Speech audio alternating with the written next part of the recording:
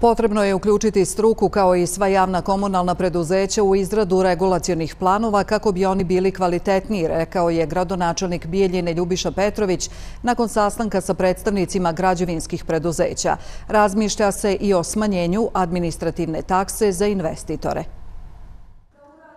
U savjetu za izradu regulacijonih planova treba da bude i predstavnik investitora kao i predstavnici svih javnih komunalnih preduzeća kako bi se pronašla najbolja rješenja, a traži se način da se smanje administrativne takse investitorima. Po pitanju obračuna samih e, i naknada građevinske rente govorimo o situaciji da mnoga, mnogi nameti prema investitorima koji dolaze od strane e, i gradske uprave e, mogu biti e, smanjeni na osnovu smanjenja e, bazne cijene kvadrata e, koja je povećana prije neke dvije do tri godine sa 600 na 700 konvertibilnih maraka. Na ovaj način investitorima bi se olakšala izgradnja uz neophodnost poštovanja dobre urbanističke prakse i regulatornih propisa.